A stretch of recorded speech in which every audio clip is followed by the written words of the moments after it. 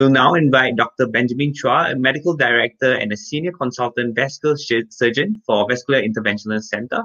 Will he will share more about the various vascular related conditions specific to men's health and alternative treatments. Thank you very much for the kind introduction.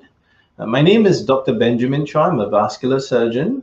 And today I'm going to talk about a topic that's close to the hearts of many men, it may be embarrassing for them sometimes to talk about it. It is like a dirty little secret that they don't want to talk about, but they live with this problem and are embarrassed and they try and find different issues uh, and answers and sometimes uh, to no avail. And the topic is, uh, of course, uh, venous leak and how it relates to erectile dysfunction. The title of my talk is Venous Leak and Erectile Dysfunction, Hard to Get a Grip on Some Issues now, really, what is venous leak and how does it lead to erectile dysfunction? Now, traditionally, we know that for a man to attain an erection for intercourse, sexual intercourse, uh, there are a few factors, but basically it's related uh, to the way blood flows into the penis and how blood is retained in the penis uh, before it's released. So venous leak refers to the ability to maintain an erection in the presence of sufficient arterial blood inflow to the cavernosal arteries of the penis. And the cause of venous leak is often due to the excessive outflow of blood. In other words, uncontrolled outflow of blood from the same cavernosal arteries and they drain quickly out of the penis.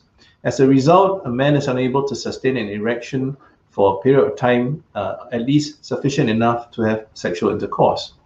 Now, Venous leak is responsible for about 80% of of cases of erectile dysfunction. How do we diagnose venous leak? Uh, essentially, it is using a Doppler ultrasound, that is an ultrasound scan, and we use that uh, to check the blood flow in and out of the penis. Uh, that is usually the basic investigation we do, and it's non-invasive. It is not painful at all. It can be done on an outpatient basis, and quite quickly we get the diagnosis. Rarely, when the ultrasound uh, does not give us a very clear picture, then we go to something called a cavernosography. And a cavernosography is usually a test uh, where we make an injection uh, with some contrast into the penile tissue and we look at how it flows and how it drains. That is slightly more invasive, but it is not extremely painful and can be done under local anesthesia. Now, um, in, in such cases, after we diagnose a venous leak, uh, then we think about ways to treat.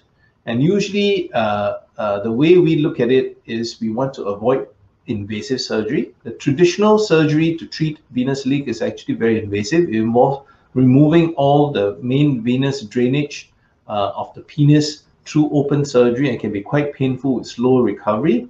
Nowadays, we do a procedure where we call it endovascular embolization. And patients who are eligible for this are usually patients who have a proven venous leak and they want to avoid invasive surgery. Now, in the endovascular embolization or non-surgical treatment of venous leak erectile dysfunction, what we do is we make a pinhole puncture into the veins, uh, either in the groin or sometimes we use uh, the neck. But more often, we uh, give a patient a light anesthesia and we puncture the deep dorsal vein of the penis uh, although it sounds like it's painful, actually it's not. Uh, patients don't feel anything at all when we do the, the procedure and uh, that's done under local anesthetic and a little bit of sedation. We numb the skin around there. We make a tiny puncture to the deep dorsal uh, penile vein. And then we do something called an angiogram. An angiogram is where we inject a little bit of contrast, look at the flow patterns in the vein, especially how fast uh, the, the vein drains blood. In other words, we inject contrast and we see how fast that contrast is drained from the penis. We also look at the size of the drainage veins uh, that are affected. And uh, usually the larger it is, it tells us that it's not working too well. Now, once we diagnose this and we see that the veins are very enlarged and they're draining very fast, uh, we then block off these veins.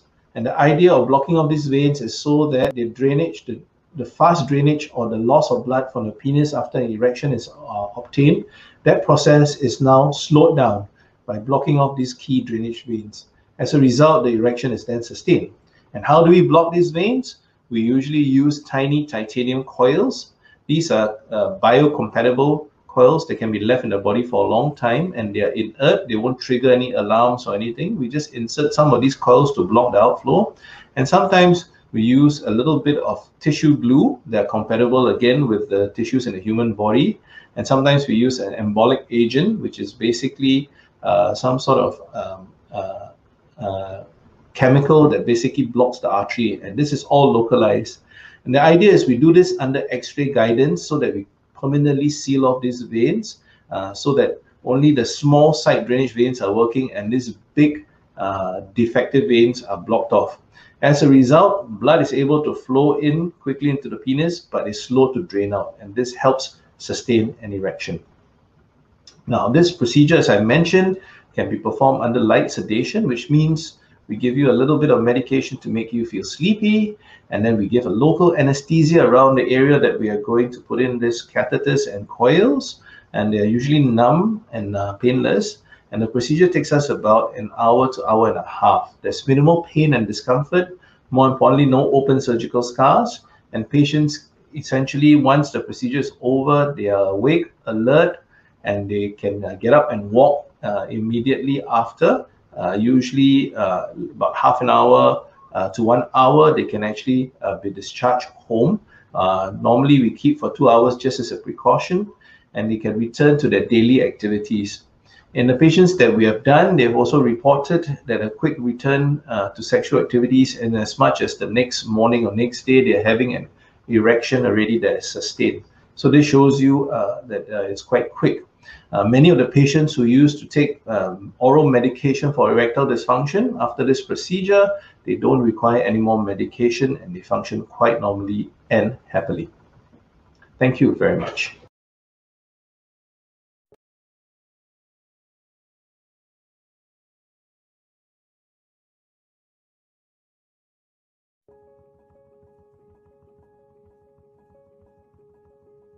Today I'm going to share with you about venous leak and erectile dysfunction and how venous leak leads to erectile dysfunction in men. Venous leak is a condition where you have varicose veins of the pelvis and these veins become very big and what they do is they drain blood excessively from the penis during an erection. As a result, the man is unable to sustain his erection uh, due to this leak uh, and is unable to have intercourse. Uh, this results in then what we call erectile dysfunction. Psychologically, it affects many men. It affects them mentally, it affects their relationships with their partners, and is very distressing. Many men don't like to talk about it, especially so since it affects young men more than old men. In fact, in all the cases of erectile dysfunction, venous leak is responsible for up to 80% of these cases. So, how do we diagnose the condition of venous leak? Uh, one is a very good history uh, taken from the patient. Although we may ask very intimate questions during the consult, at least we know from the patient's history what the problem is. And sometimes that gives us an indication that there is a problem with the venous leak. But the real diagnostic test actually uh, comes from uh, doing two things an ultrasound scan and a CT scan. So we can do the ultrasound scan in the clinic. And in, in this ultrasound scan, what we do is we examine the patient's blood flow in his pelvis and also in uh, the penile gland or penis. Uh, and sometimes we complement that with an uh, extra imaging and that's a CT scan. With these two images, which are both uh, non-invasive, uh, we can diagnose the problem of venous leak. So frequently men who have had venous leak who have tried seeing many doctors, some people who have taken some medication like Viagra or Cialis to help them attain an erection, but they still find that they are unable to have intercourse because they cannot sustain the erection. So after we diagnose the venous leak with an ultrasound or a CT scan, what we then do is then consider treatment. Right now, uh, the latest way of treating this is actually minimally invasive. In fact, it is almost non-surgical. And now, if you know the problem of venous leak is actually these big dilated veins, as you can see there on the screen, what we then do is reduce the leak of these veins, and we use sometimes small metallic inert biocompatible uh, coils or we inject some glue that's also biocompatible. As a result, uh, the leak is reduced significantly and so blood is now retained inside the penis for longer periods. Uh, as a result, uh, the man is able to sustain his erection and continue to have intercourse like he did before this problem uh, uh, developed. Uh, this is a very good procedure because it is done first minimally invasive, almost non-surgical with local anesthesia and a little bit of sedation and it's done like a day surgery. More importantly, uh, the men who have undergone this procedure tell us that by the next morning, they are already feeling a lot better and they see an improvement uh, in their erectile dysfunction. And many men then subsequently also uh, go off all their medication to treat erectile dysfunction and are happy. Uh, in terms of how long this is sustainable, uh, this has been shown to be uh, a long term. Uh, so many men up to two to five years are still having very good results and are very, very happy.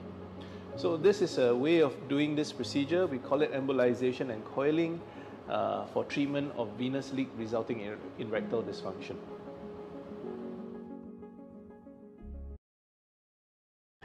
Now I move on to the next topic that I'm going to share with you, and that is uh, a topic on varicose veins in men. You may wonder why I'm talking about varicose veins in men, especially many of us think that varicose veins are a problem related to women and in their legs. But really, varicose veins can affect men, and particularly, it is a condition known as varicocele. And today I'll share with you about how these two things are related, varicose veins and varicocele. Now, what are varicoceles? Varicocele is a condition that affects men, and it is caused by varicose vein within the scrotum of men. Basically, that is the loose bag of skin that holds our testicles. Now, varicose veins occur in these uh, uh, veins in the scrotum when the valves are weakened and do not close properly. Now, the condition of varicocele actually is quite common. It affects about 20% of men, about one in every five men. Now, as a result, the, the blood flows back down towards the scrotum and the veins above the, the testicles in the scrotum get dilated and engorge. As a result, the temperature in that region is higher. So one of the side effects of having a varicocele is low sperm count or low semen product uh, quality of sperm. Uh, this is because of the higher temperature in the region due to the backflow of blood and that's pooling above the testis. As a result, men with varicocele may find that they are infertile. Also, because of the pressure at the back filling of these veins, uh, many men experience persistent scrotal pain and this is especially so when they're standing for long periods of time or even sitting for long periods of time, and sometimes so when they are actively involved in sports. As a result of the blood pooling there, there's pressure on the testes, and many men feel a persistent, constant ache in the scrotum. Uh, in rarer cases, because of the varicocele being present above the testes, the testes uh, feel a little bit of pressure and the heat. Uh, they then fail to develop properly and normally and may even shrink in size. Now, if you look at this diagram, uh, this is what a varicocele looks on the outside.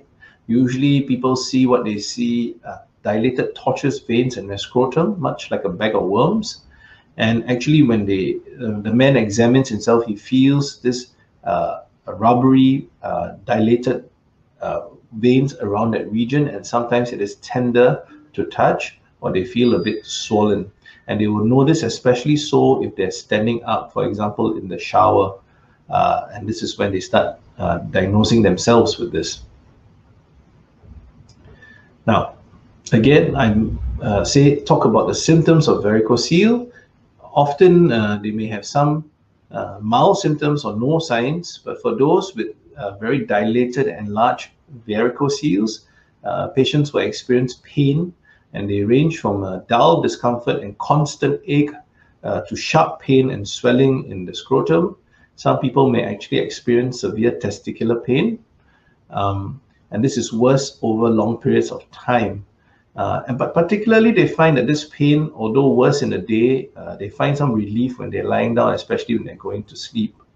Uh, physically, people may feel a lump like a bag of worms and becomes more noticeable as the veins enlarge. Now, how do we diagnose a varicocele uh, in, in the clinic? We do a physical examination. Uh, usually I'll, I'll palpate or feel the, the region around uh, the testicle uh, and above the testicle, and usually I will feel a bag uh, of worms or a dilated bunch of veins. Uh, and we do an ultrasound of that region and it shows us very dilated veins and this confirms the diagnosis.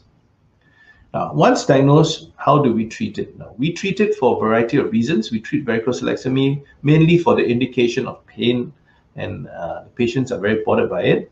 And uh, some men, uh, we treated uh, for the indication of infertility. They have had uh, been trying to have children and they find that this is a problem and this is a cause of low sperm count. Now, traditionally, the surgery has been something called varicocelectomy, that is open surgery. And what the we do is we approach the veins through the groin uh, or an incision uh, above the bag of worms in the scrotal sac, and we uh, look for these veins and we dissect and tie them off. Uh, this is so that the veins don't backflow down uh, to the region and uh, get dilated again. Um, and sometimes we use laparoscopy to do that surgery.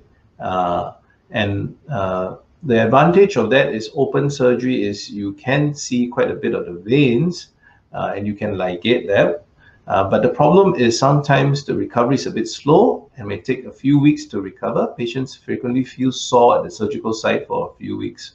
In the interim, patients are also uh, advised against having uh, sex so that the new uh, semen uh, sperms can develop, if, especially if they're trying, especially if their indication is for infertility. Nowadays, we have a much more minimally invasive non-surgical option, and that is usually a procedure called embolization. It does not require any cuts in the scrotum or any cuts in the groin or any insertion or instruments into the abdominal cavity uh, vis-a-vis laparoscopy.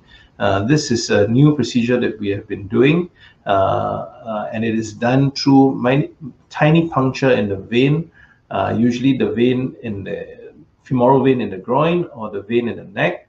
And you and what happens is through that tiny puncture, we will put a small tube called catheter all the way down to the main vein that leads to the varicoceles.